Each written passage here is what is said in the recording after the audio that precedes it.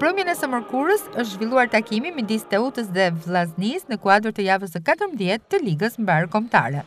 Djemtë e Detit shpërthyen që në periodën e parë, të cilët e fituan me njëzet pikë diferencë me vendasit, të cilët kishin harruar të zbrisnin në parket duke shënuar vetëm gjashtë pikë.